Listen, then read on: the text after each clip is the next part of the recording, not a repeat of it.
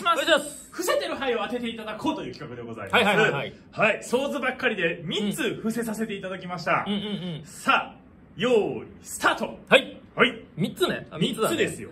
えーっと、あ、むずいね。むずいよこれえー、3つだからといって、えはいはいはいはいはい。?3 種類とは限らないよね。そうですね。